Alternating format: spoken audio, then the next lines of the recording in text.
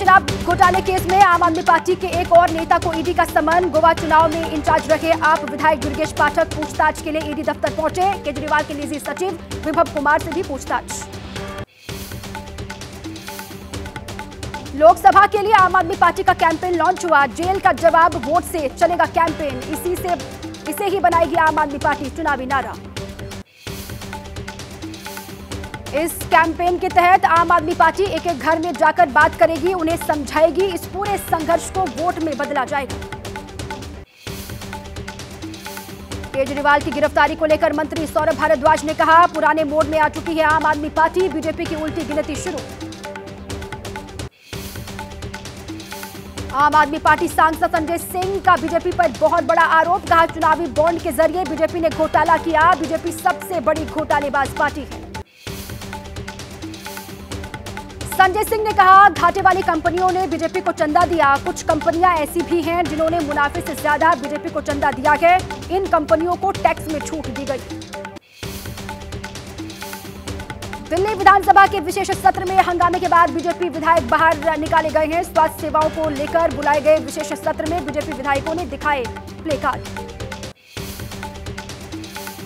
BJP विधायकों का आरोप, जल बोर्ड के अट्ठाईस हज़ार करोड़ का पता लगाने के लिए ऑडिट हो, लेकिन हमें बाहर निकाल दिया गया। आप सांसद संजय सिंह को झटका, गुजरात विश्वविद्यालय मानहानि मामले में संजय सिंह की याचिका सुप्रीम कोर्ट से खारिज, पीएम मोदी की डिग्री पर विवादित टिप्पणी का मामला। प्रधानमंत्री मोदी की थोड़ी देर में छत्तीसगढ़ के बस्तर में होगी शंखनाद महारैली। आज शाम को पाँच बजे महाराष्ट्र के चंद्रपुर में करेंगे रैली। बीजेपी के लिए वोट की अपील करेंगे।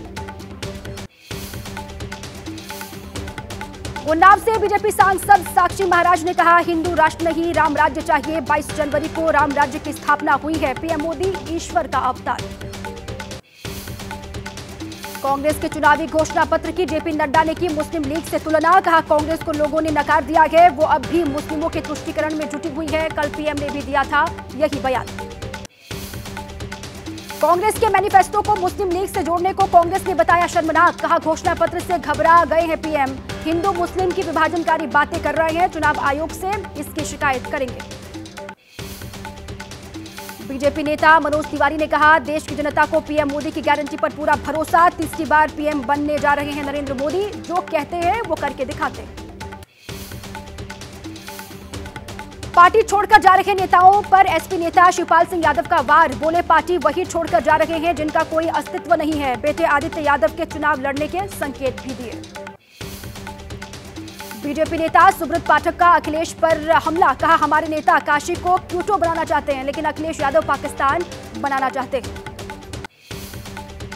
यूपी के पूर्व डीजीपी विजय कुमार, उनकी पत्नी अनुपमा और बीएसपी नेता धर्मवीर चौधरी बीजेपी में शामिल हो गए हैं। डेप्यूटी सीएम ब्रजेश पाठक की मौजूदगी में पार्टी ज्वाइन की।